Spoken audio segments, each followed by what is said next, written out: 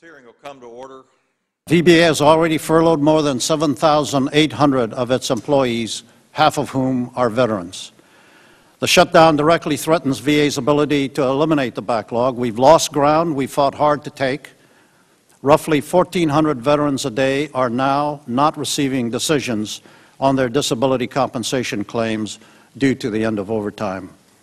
If the shutdown does not end in the coming weeks, VA will not be able to assure delivery of 1 November checks to more than 5.18 million beneficiaries, and that accounts for about $6.25 billion in payments that people are expecting. Uh, don't want to be alarmist, but I want to speak for the veterans who are looking in on this.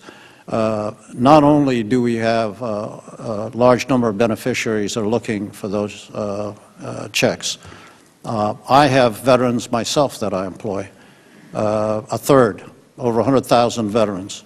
Uh, a number of them are going to be subject uh, to furlough.